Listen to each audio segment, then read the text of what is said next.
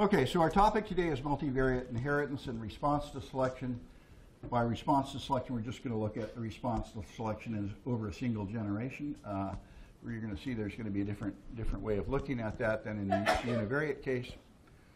Um, and I've got this this icon of uh, Wilson's bird of paradise, uh, and uh, Wilson's bird of paradise I chose as our icon for today because this male bird of paradise is multi is manifestly multivariate, right?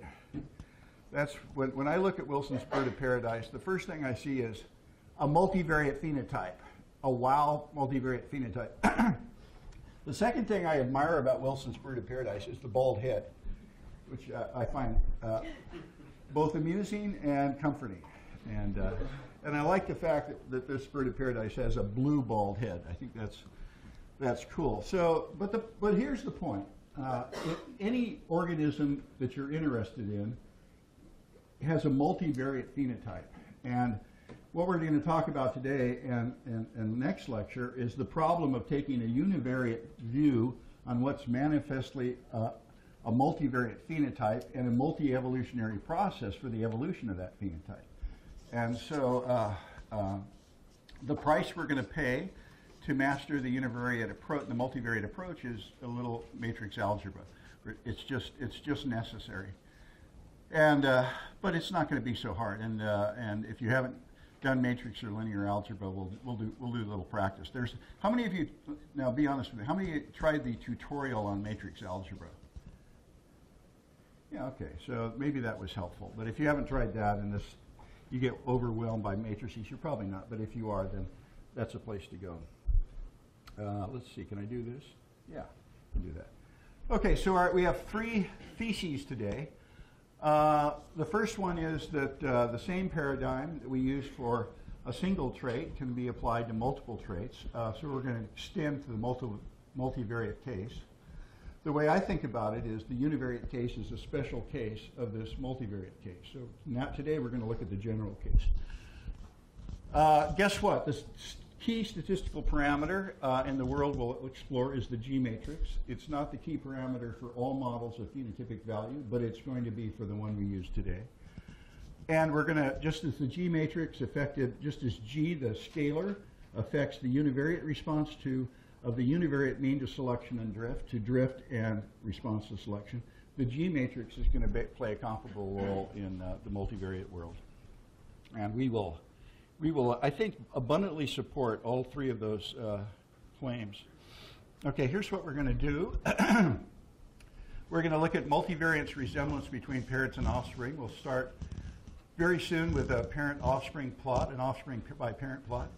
Uh, as not surprisingly, we're going to talk about our model of inheritance that's going to be multivariate. Uh, there will be a couple of examples when we think about mutation selection balance, and in, we're going to think about the G matrix in mutation selection balance, and it's affected by opposing forces.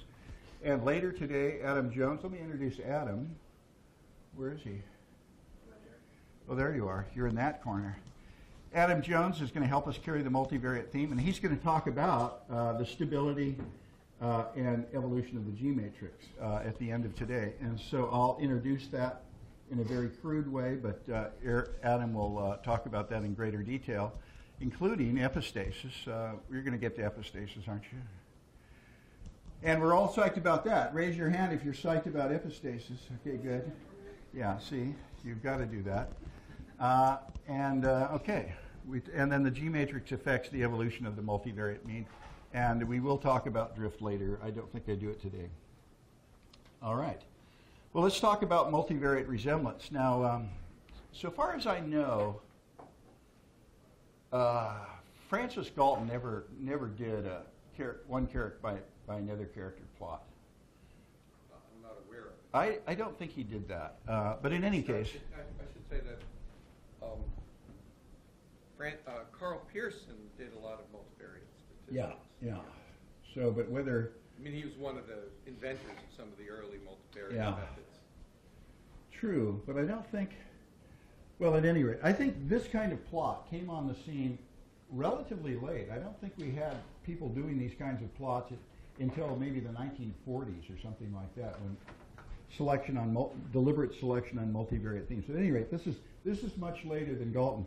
And look- notice we met, here's our garter snake example. We have two traits: number of vertebrae in the body, number in the tail, and there are two cross trait plots that we can make. Daughter's tail is a function of mom's body count, and then daughter's body is a function of mom's tail count.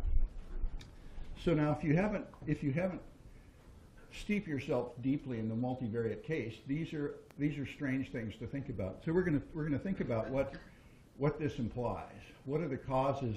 Now, if you look at this plot, uh, there there seems to be a trend line. We I haven't even told you whether there's significance of that. It turns out we're not really going to be interested in the regression. We're going to be interested in the covariance.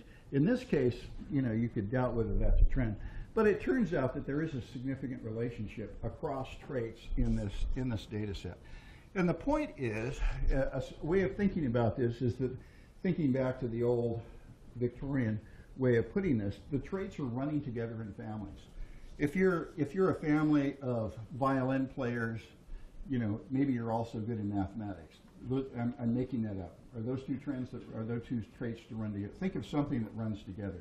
In other words, if you inherit, if you if you're a redhead, uh, you also have light skin or something like that, right? So you, in those cases, you're thinking about traits that run together. And when you go modeling multivariate traits, you can't treat each trait separately. You've got to think from a from a resemblance and inheritance point of view. You've got to think about the pairwise relationships between traits. Now, what we're going to say with our additive model is that's all you need. You don't have to do three-way, but you, you need to you can build it all up from from pairwise relationships. Okay, so here's our model, uh, and this is why we spent some time on this before.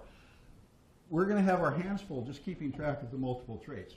That's going to use all the subscript. That we, we're going to need subscripting for that. So we're going to focus on the, the additive model in which x, the phenotypic value is little z. x is what?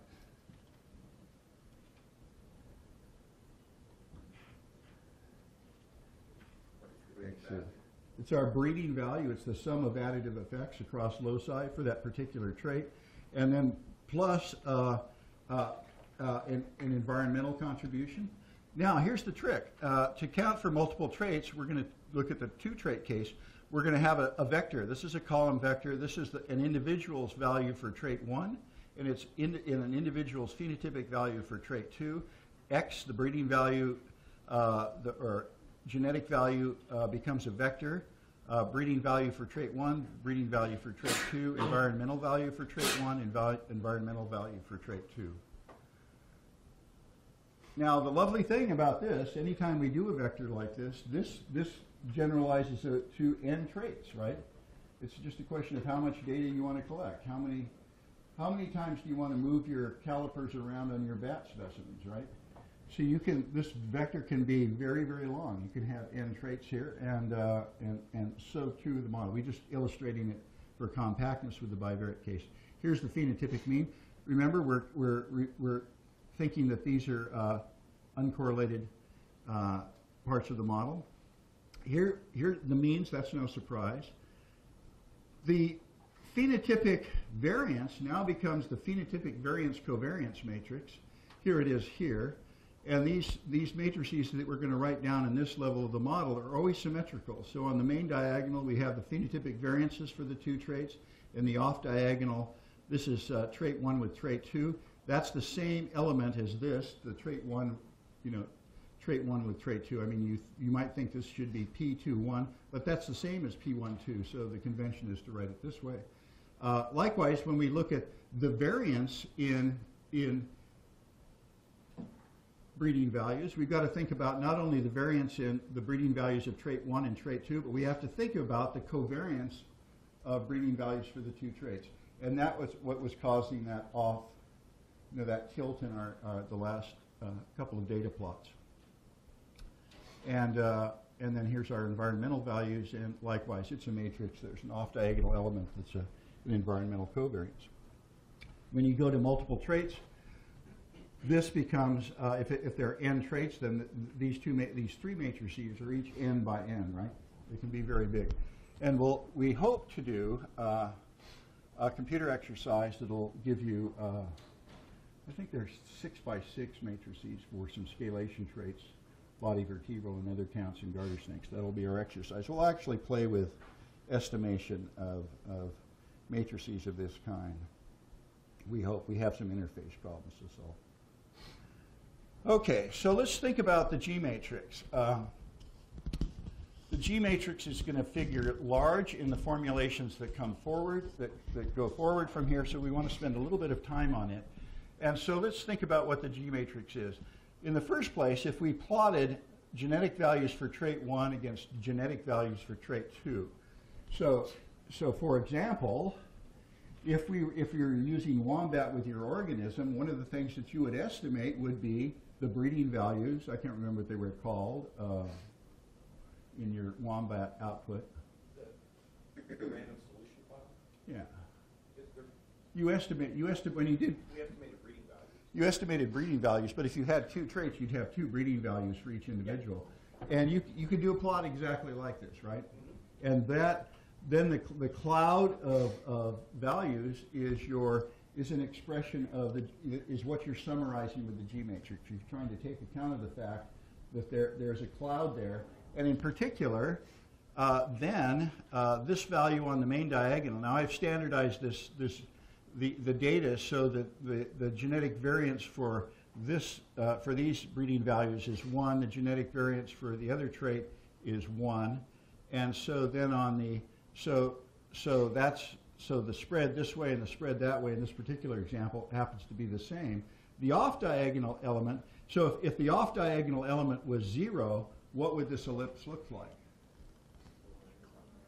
It would be completely round, wouldn't it? So, but in the general case, it's some kind of football shape, uh, and it might not be as extreme as this, or it might be more extreme. If, if this off-diagonal element, that's G12, if it's positive, the tilt is up this way. If it's negative, it's tilted down that way, right? Um, let me think. Oh, there. So there are two. What, where does this come from? We're, I'm not going to go into great detail here, but one possibility is pleiotropy. That at the at the gene level, there's a set of genes that uh, affect expression of trait one and the expression of trait two, and apparently the net effect of those pleiotropies is positive. There might be some negative ones, but the, apparently the positive positive genes are outweighing those.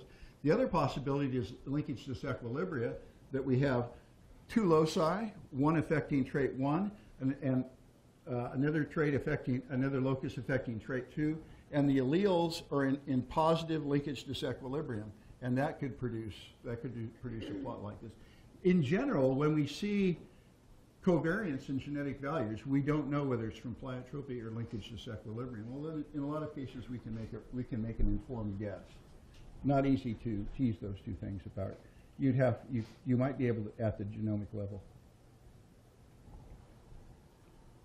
That's one of our one of our agendas for the future. Just as we have missing heritability in GWAS, we have missing covariance, right? So we have a ways to go. All right, a couple of other conventions. Uh, uh, entering the multivariate realm because of this means that you really want to embrace covariances. But if you want to standardize the, the covariance and express it as a genetic correlation, then this is the standard formula, the standard product moment formula for a correlation, and we just substitute in the genetic covariance 1, 2, and then we take the square root of the product. That's the geometric mean of the two, uh, two genetic variances. Nothing new there. That's just applying a standard formula. You, you have deep in your storage, if not on the surface, to this genetic issue. And then here's our final set of conventions. I meant to quiz you about what the axes are, but this slide gives it away. Uh, what I'm going to draw here, and most of the time when we talk about matrices, we're going to talk about a set of matrices. Almost always you can, you can cast them as 95% confidence ellipse. And this is the, the bivariate 95 percent confidence ellipse for bivariate normal data. That's how it's cal calculated. And uh, we're 95% sure that the bivariate mean resides inside this ellipse. But it's also the case that about 5% of the value, we're expecting on the average about 5% of the values to be outside the ellipse. I think this is 100 values, and you can see conveniently that five crept outside the boundary, just about what we'd expect. We can take this matrix and we can, uh, we can calculate its eigenvectors and eigenvalues. Just a simple matrix operation.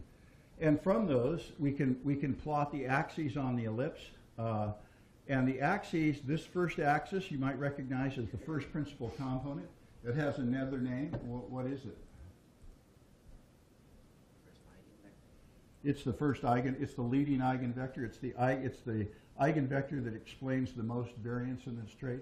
And then here's the second principal component. I labeled it Roman numeral two. Some of, some of our authors will do that. And it's the axis orthogonal to the first one that explains the next most uh, um, uh, variance in genetic values.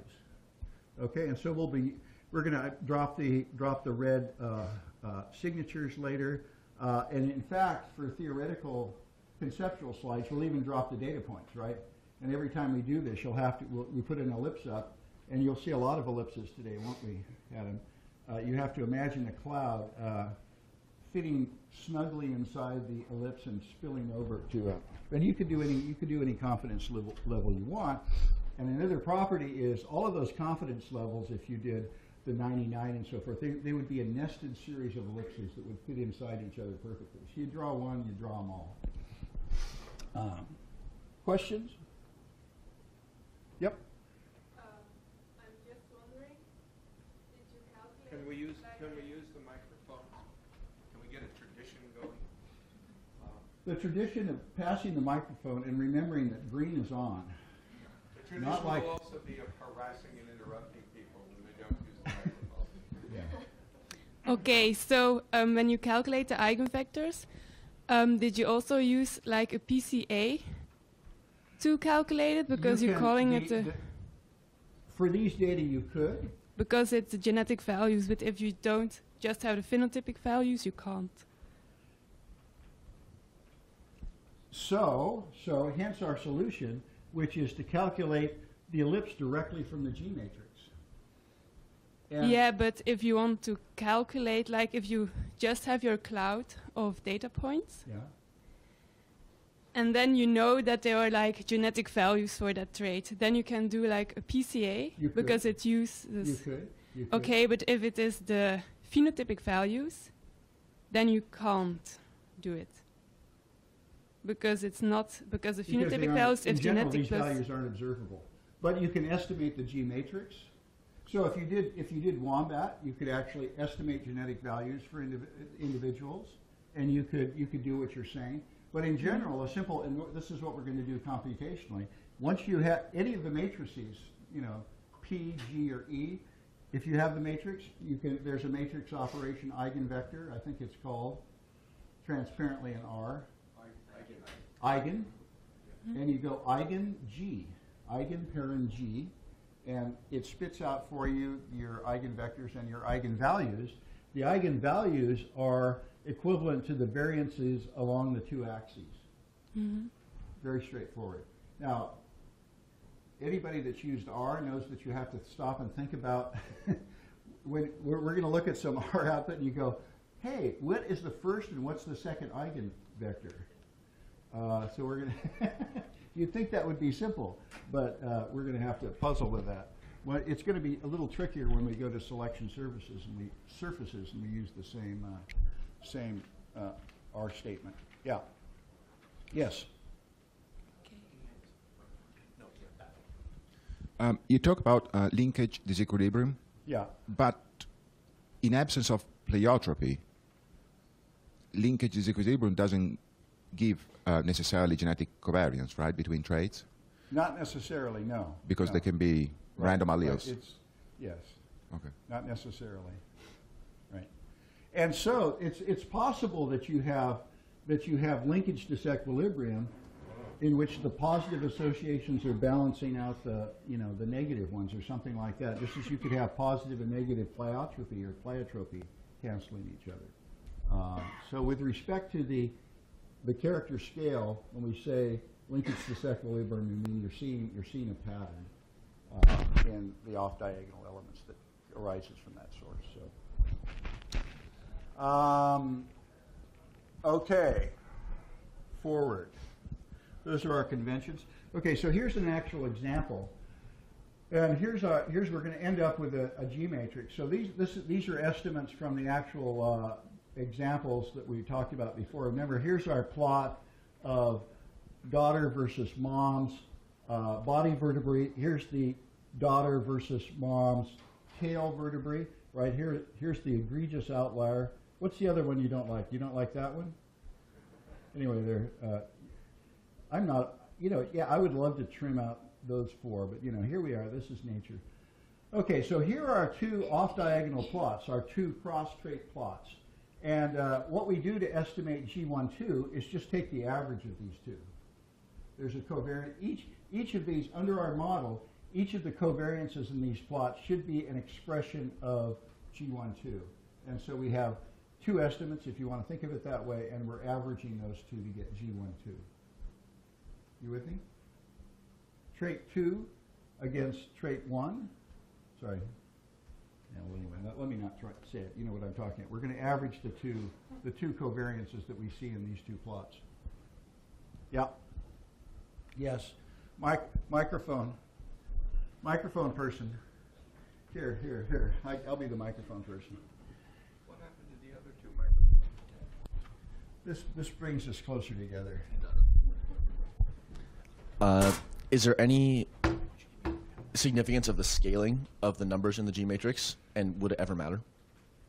Well, it's going to affect your, it's going to affect your estimate. So that scale decision should happen, whatever those criteria are for deciding on a scale should happen before you. So for example, if you standardize your scales to unit variances, then your covariances are always going to be correlations, right?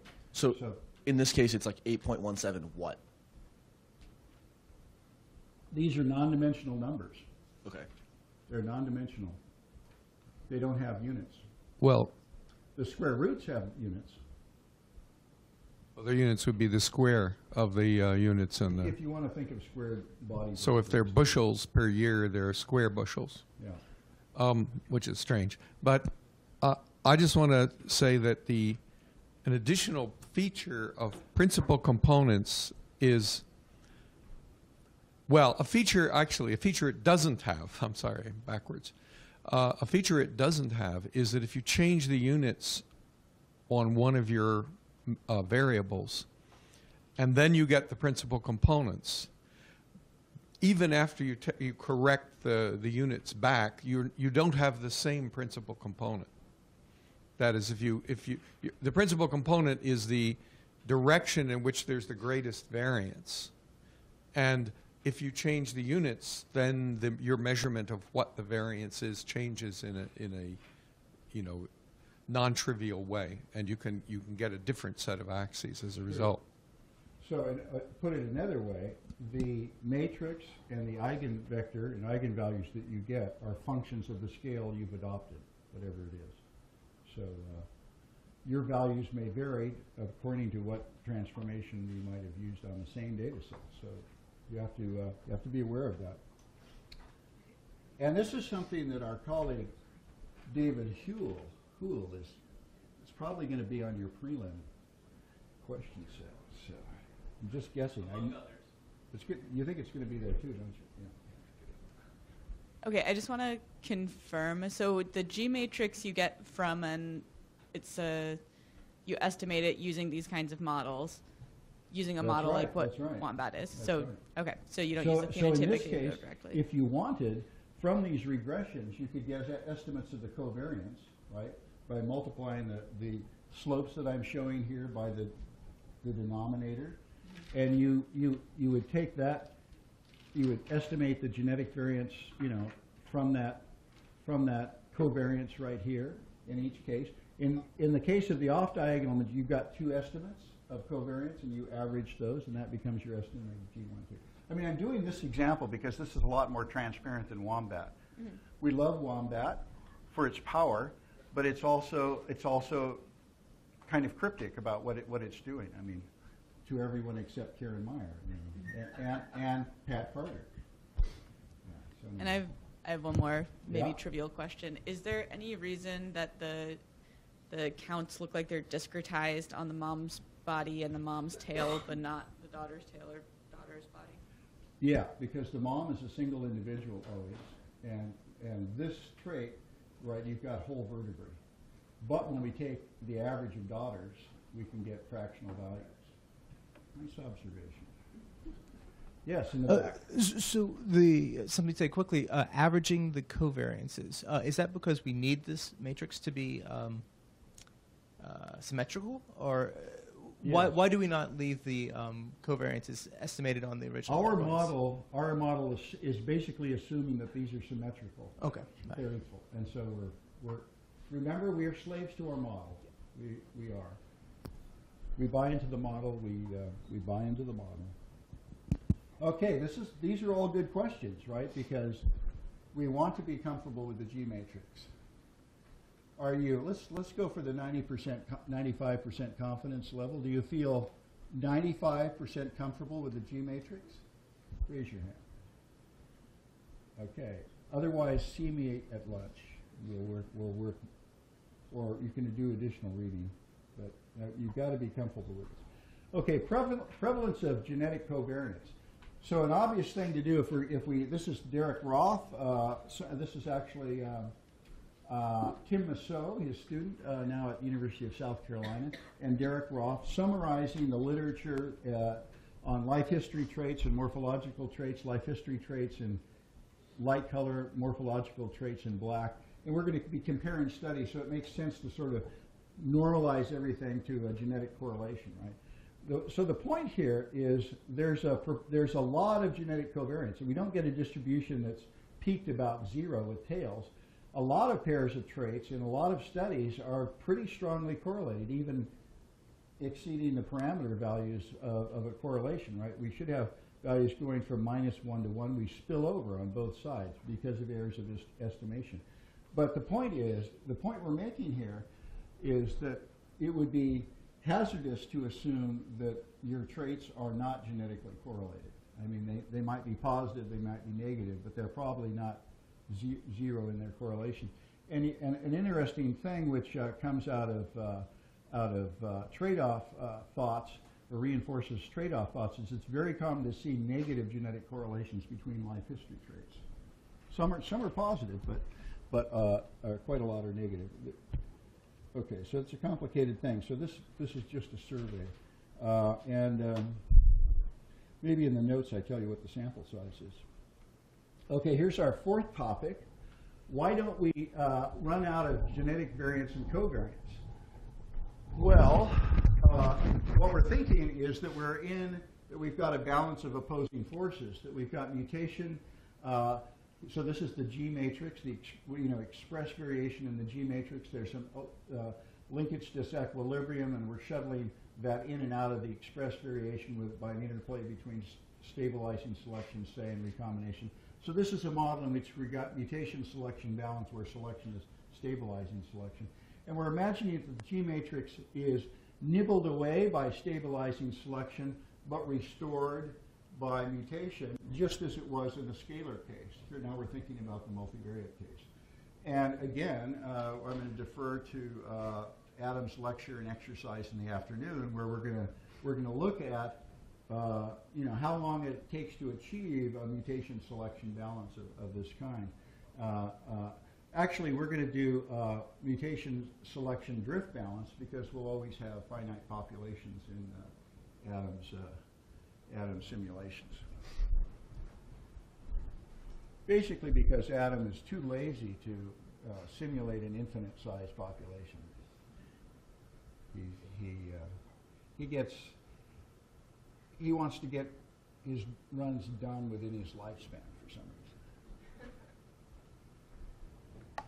No, the real reason is because we want to know what the effect of finite population size would be on this. Okay, so yeah, it's the second day I'm loosening up. I'm trying to uh, uh, expose you to my perverse sense of humor, which, uh, which will be expressed more and more as the course wears on. By, the, by, by Saturday, I'm almost impossible to talk to because nothing I say will be. His, his sense of humor is still limited by a little bit of residual jet lag. I'll be totally buzzing and sharp by Saturday, I promise you. They'll be all humor. Okay, let's talk a little more about linkage disequilibrium. Um, uh, what, so one of the things that we worry about is why, now we're in multivariate space, why don't we run out of additive genetic covariance? Well, so here's a contrived example to illustrate linkage disequilibrium and why it might be created each generation by selection, but then eroded by recombination. So, so why is this? th- This is this is. Uh, uh, I'm trying to think of a, uh, a genus. I can't think of a grasshopper genus, but we call this Arnoldo gryllus uh, uh, linkage disequilibrium.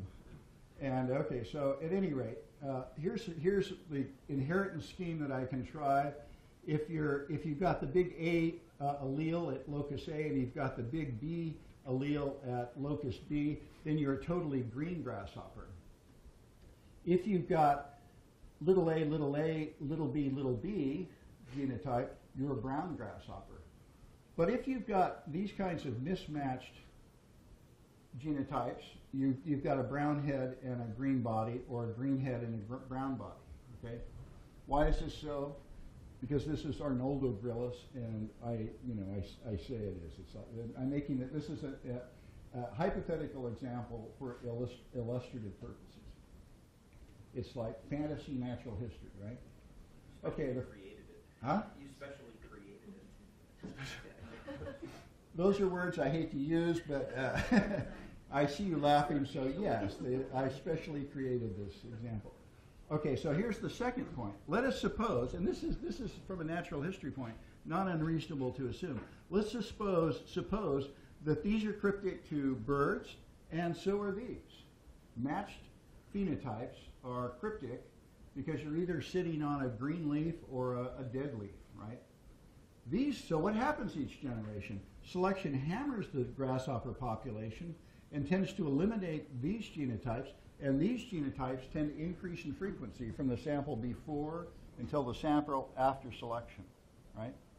So this is a this is a this isn't stabilizing selection. This is a particular kind of stabilizing selection in which we're saying selection is favoring, in this case, this contrived case, phenotypes on this diagonal.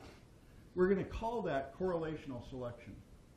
It is, in general, that kind of selection, multivariate selection, we're going to talk about it more, is going to uh, tend to increase the correlation between the state values of the traits, right? And in this case, because of the contrived genetic background, that selection is going to promote linkage disequilibrium between the two loci that underlie the trait. It's going to create uh, a genetic covariance between at the at the level of these two loci. That genetic covariance is going to be expressed uh, at the phenotypic level. If we estimated a G matrix for these traits, not knowing the the genotypes, we should get a positive G12 element. Okay, you with me? Why not? There's nothing to quibble about, right? Because we can drive this to work this way.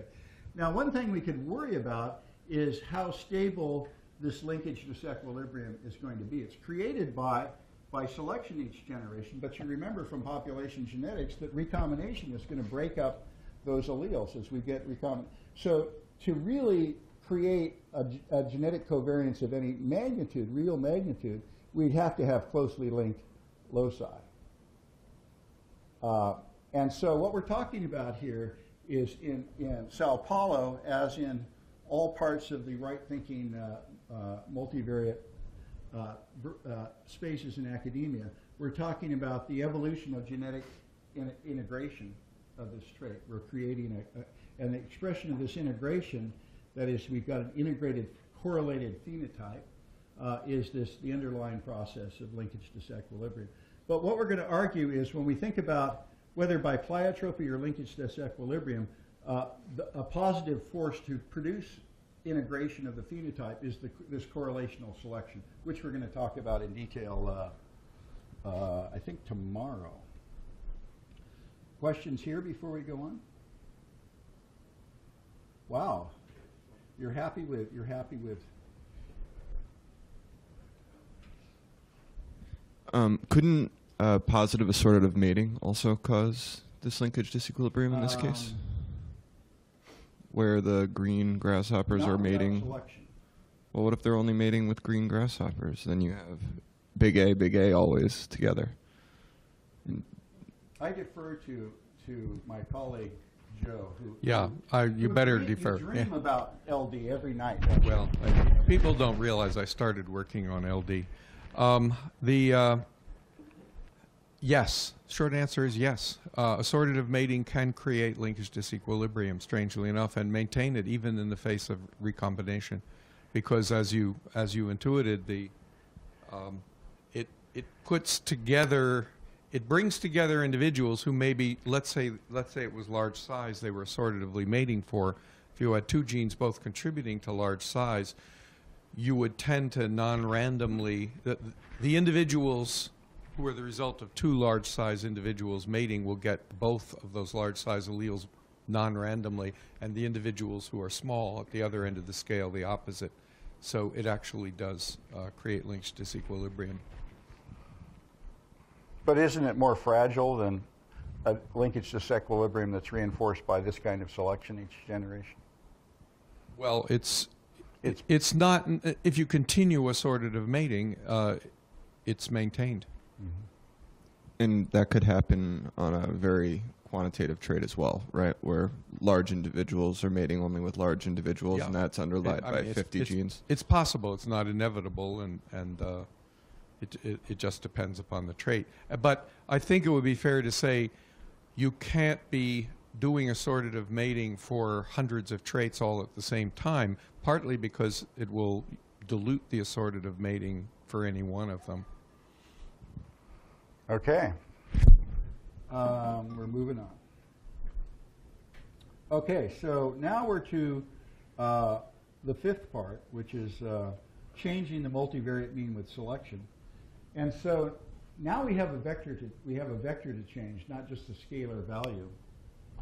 And so let's go back, and here we're going to look at the effect of genetic covariance on the response to selection on one trait.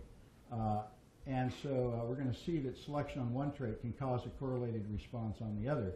So for example, let's go back and just think of this as, this is a new mid-parent value for trait one, offspring value for trait two plot, right? Offspring, so the covariance we're looking here at this plot, taking the sample before selection, both blue and black points, uh, is negatively correlated. Uh, so when we estimate a parameter here, it's going to be negative, and that parameter we're going to be estimating is the genetic covariance between trait one and trait two, right? So this is this negative relationship in this plot is going to give us a negative estimate of G12. Okay, so just as now in general, this this plot is a little bit cumbersome to use, and it's misleading for many ways, but for just thinking about what the consequences of selecting on one trait on the other is, it's, it's illuminating to think about that. So it's the same operation as before. We imagine that there's truncation selection so that only the black dotted individuals become the parents of the next generation. And here's their mean. Let's see, have I've done this backwards? No, I haven't. Yes, I, yes, I've done it right. So uh, I'm gratified to see. So the mean of all the parents after selection is z bar star. That's the mean of all the black points. The mean of all of the points on this axis, blue and black, is z bar, the mean before selection. And so we're selecting positively, aren't we? S is literally the length of this, this separation between the two means, and that's, that's S, our selection differential, right? We're selecting towards higher values. But when we project z bar up to the axis, it's actually lower on the scale than z, z bar star is actually lower here than z bar. And so when we calculate delta z bar, the change in the mean, we act, even though we select for positive values in one trait, we get a change in negative values in the other trait, right? right? And that's because of this, this, it shouldn't be a surprise, but it's not all that intuitive. Now, animal breeders are familiar with this because the tragedy of animal breeding is as you select on something, you get, because of the, the ubiquity of pleiotropy and uh, genetic covariances, it's very common in animal and plant breeding to select on something and then get something you, you really don't like, right? This is, this is why we like, uh, we like, uh, we like uh, what do you call them, heritage uh, styles of uh, tomatoes, right? that's why, you- this is why you buy your tomatoes at the farmer's market instead of at, at Winco or whatever, Piggly Wiggly.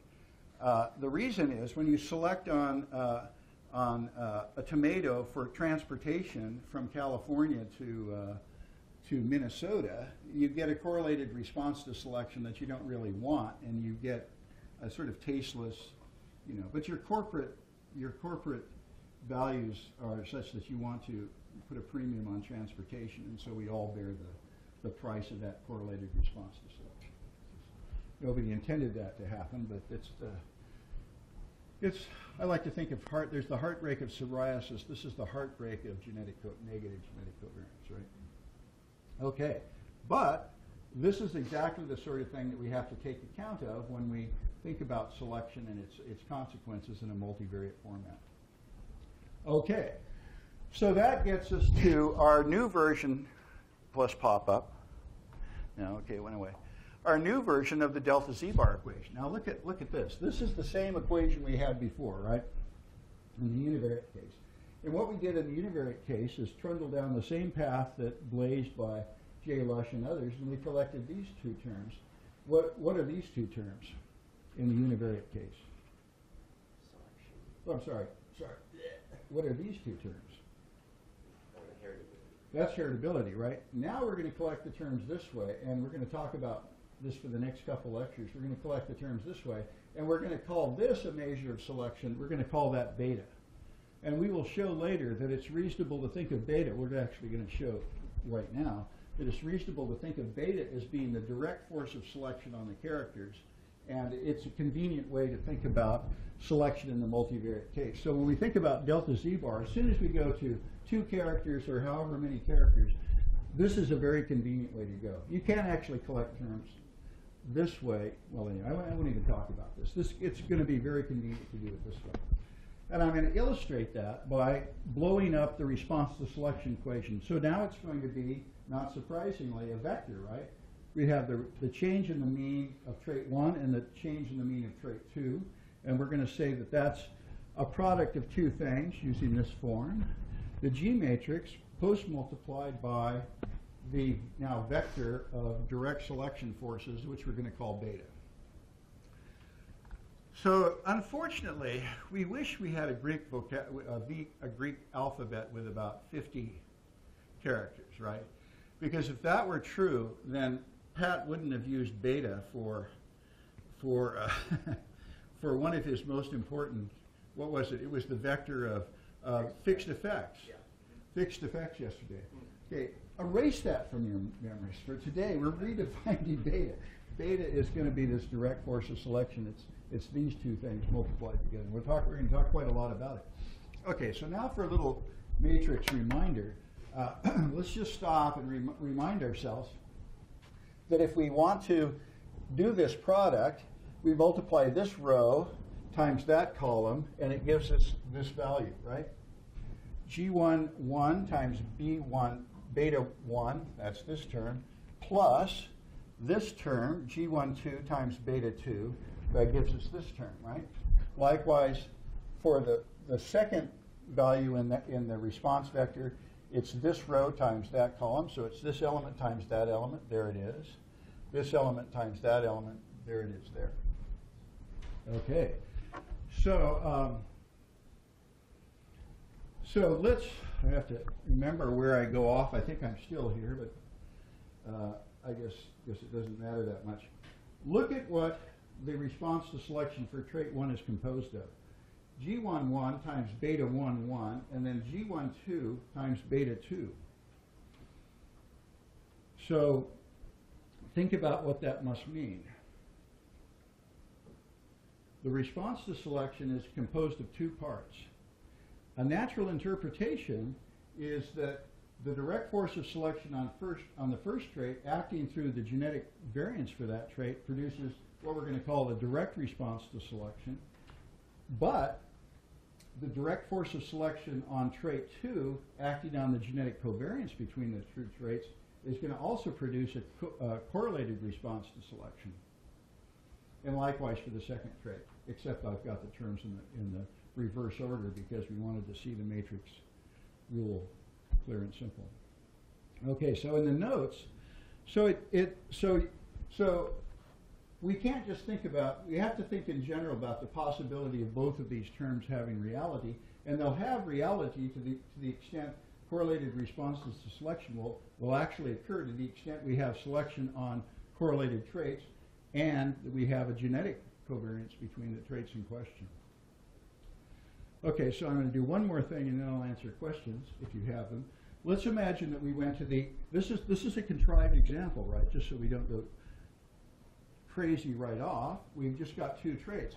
But imagine that we had many, many traits, maybe n traits. So now the vector is very long. The matrix is n by n. This is very long. We have selection potentially on all n traits. And now we look at this, we look at this, this term. So let me do the let me do the product for you. We're going to have this term. That's the first term. We're going to have this term. This term is going to be G13 beta 3 plus G14 beta 4 plus G15 beta 5 all the way out to G1n beta n, right? So if we're dealing with multivariate selection, which is what Mother Nature uh, is probably going to be pursuing, uh, it's very possible that all these correlated responses to selection can overwhelm the, the direct response. Very possible. And so that's what, uh, that's the, one of the heartbreaks. It's the challenge and the heartbreak of the multi multi-dimensional world. And likewise for trait, trait, trait two. Okay, so we're, I think we're, what, what, when were, we started at nine, I'm probably five minutes over. but we're almost at our, our, our, our end. So actually, let's, let's go ahead and then we'll, we'll put things into discussion if you're not throwing your arms up right now. Okay, so now, uh, so there, that's the, el- that's the algebra, algebra of multivariate response to selection. Now, in, in the case of a single character, we had the contrived Galton plot with, with S on it, right? And that, that was a convenient way to think about uh, selection. That's not a convenient way when we're in multivariate space. And I, I've already said a convenient way is to go to this new measure of selection beta. And now I'm going to show you a visualization of, of the matrix algebra that we just looked at. And the visualization is to think of selection as a, as a pool game. How many of you have played pool? Good, everyone. See, it's, it's now I meant to uh, talk to my IT guy so I'd have a pool cue here. So, uh, but but I but uh, better I have an animation. But before we do the animation, let's let's look at our little diagram. So this is going to be uh, our G matrix, and here it is. With uh, there's no genetic correlation, and we've got a genetic variance of 0.4. Remember, our phenotypic variances are one, so this is like these are like heritabilities. Uh, and it was so, so with a G matrix like this, we've got we have a, a, a soccer ball in, in two dimensions. Beta is a vector. We're saying here that we have selection only on trait one, and we're going to look at the consequences of that. Now, uh, remember beta beta one times uh, times this element, the genetic variance in the in the in the G matrix, is going to produce a response to selection, and beta is going to be in general less than one. I'll tell you about why later. So uh, uh, the consequence of that is that um, that when we when we select on the trait, we get a response to selection that's less than the magnitude of the of beta, and uh, we can think of each of those vectors in, in this particular Crive case as looking like this. So you can think it's like a pool game because you hit the cue ball here, and you move the mean within a generation to that new position represented by the open cue ball. Now, in the case of uh, a circular G matrix, this whole this whole result here can just be rotated all the way around, right? No matter how you hit the cue ball. Uh, and this is, this is the conventional cue ball. This is the conventional cue ball you play, the conventional game you play. When you move around the table, you don't have to think about where the ball's going to go, right? It goes, you hit it this way, it goes forward, and it doesn't matter what angle you're doing it at. But if there's a if there's a G matrix with an off diagonal element, I've shown here a positive G1 2, when you hit the ball in this direction, it goes not forward. It has two components, forward and then also a component upward. Okay, there's the response. There's delta z bar, first element one, and then there, here's del- delta z bar element delta z bar two. Right? There's a correlated response to selection, uh, even though we're selecting only on trait one, and so we get this result.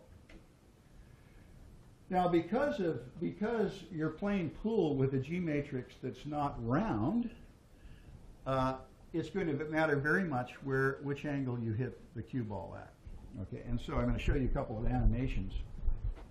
To have to eat up some uh, discussion time to do that, but go away. What? Okay, I'm just going to ignore you. Let's let's play animation one. Maybe somebody can tell me how to make this go away every time. Wait for it. Wait for it.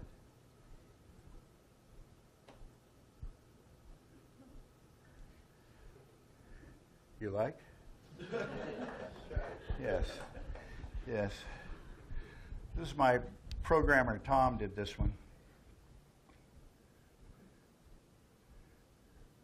Right? The whole G matrix in the next generation is going to move to the position of the mean, right?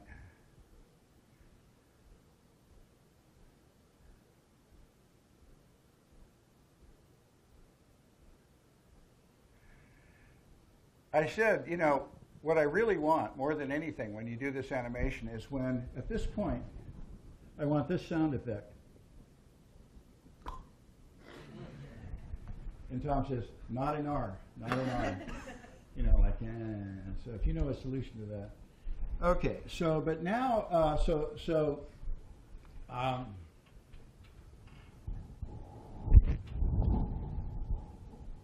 what you want to do is retool your intuition so that you can think about what correlated response, so you're not surprised by this, right? You're going to be a pool shark. You've got to know that you're to, the, the first question when you step up to the table is, what's the G matrix? Tell me, what's the G matrix? And then once you know, you should be able to anticipate the pool game. Let's look at uh, a slightly more complicated animation named Animation 2.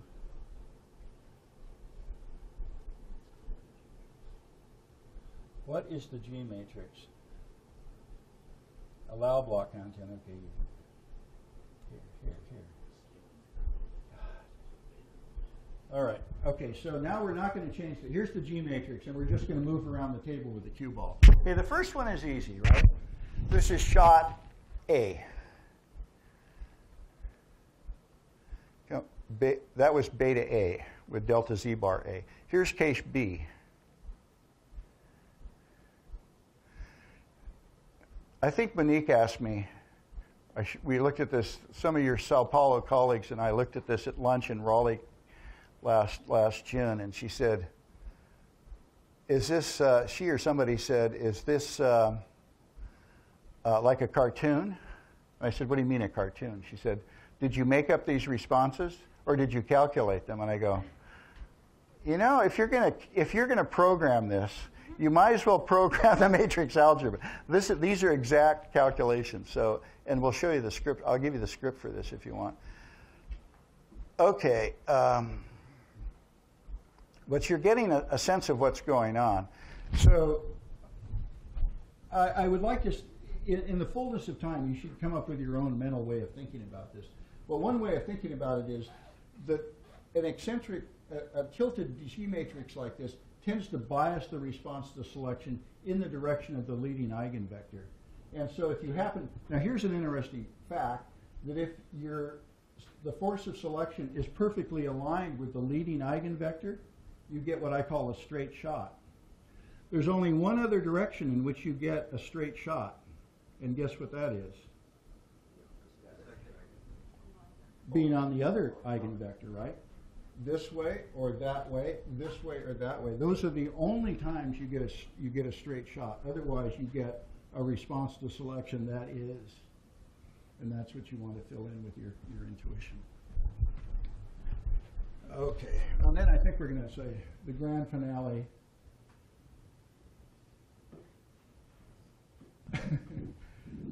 I think we need to shorten the pauses here. And the grand finale is, maybe there is none. Tom, where's the grand finale? I don't know, maybe this wasn't the final version. Anyway, uh, you can see the, the so-called ghost there. Oh, well, I guess we're never going to get it. Okay, Tom, uh, Joe's looking at his watch. You're not? All right. Uh, ignoring all my going. I, ju- I just wanted to add something. Oh, you did? Okay. I went away too fast? Um, I, it, it, you should also Oh. notice, yeah. Well, that's actually a How good. about that one? Well, they're both they're both fine. Um, if you were to choose new axes here, so if you t- if you were to take the principal axes of the uh, of that covariance and plot instead everything on the principal axes, then you get a circular um, contour, a circular uh, yeah contour of density. Um, and your axes, well, actually, the axes could be any any two orthogonal axes, and on that scale, if you if you hit it um, in any direction, it just it just moves straight forward. It moves forwardly and doesn't divert at all. But when you transform back and put it on this scale, then you find out it's exactly these motions. So, put another way, we could rotate these axes, right? We could rotate the axes like this, and then we, we'd have, we would have a G matrix without a main diagonal, right? Uh, But now, uh, actually, I think what happens in that case is, even though we have no genetic covariance, because we have unequal genetic variances, more on this axis than that axis, I don't think we get a conventional pu- pull, ga- pull game. I, You- I uh, was, uh, uh, I, I was actually thinking of choosing new axes and rescaling them so that the thing becomes circular. Yeah, but what I'm saying is just, let's just rotate them before we circularize it. And I guess, I guess it's gonna be a conventional pill game. It's just that when you're in a direction, you know, yeah, because there, there's no, there are no genetic covariance terms. There's no correlated responses to selection. That should, should give us a conventional pull game. But if you're, but if you're, when we rotate it, when you shoot this direction, you're gonna get more of a response than when you hit the ball this direction. One, one last comment, uh, just that in, uh, That's way of in- saying yeah, yes, what I said. yeah, right. yes. Uh, in, in Gilbert and Sullivan's The Mikado, one of the uh, punishments that the Mikado imagines for people who have committed various social gaffes is having to play pool with elliptical billiard balls, which, Really? which we are doing now. We are playing. Here's the problem, though. The elliptical ball in the Mikado would, would flip and blah, blah, blah, blah, blah, blah, you know, so it's not quite that, but, but it's closer than thinking about a, a spherical ball. All right, we're so. Question in the back, Question in the back, yeah. so if you did, So if you did uh, switch, uh, Rotate. rotate the axes, then you would have unequal variances between the two traits. Would that violate our uh, No, that's what I was just talking about, but maybe too fast to, for comprehension. So, in our, if we do that rotation, now we have, we're gonna have a G matrix with two different terms on the diagonal, but no, no G12. So I could go back and show the, the equation, but you would see with, with G one two zero, there would be no correlated response to selection. But the response you get would be vary according to how, so obviously there's more genetic variance when you hit the ball this way than when you hit the ball that way. And there's an intermediate amount when you hit it this way. And that intermediate amount is gonna, you, you're gonna wanna think about because you're gonna fall short of the pocket, you know, if you don't take that into account. Yeah.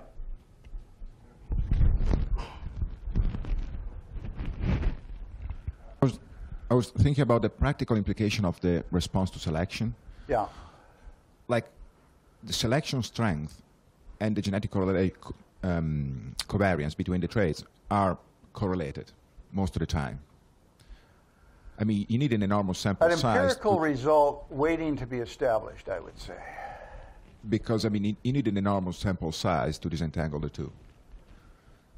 Because the selection can be dependent on the genetic covariance. Well, the response to selection will, yeah, but not the selection itself.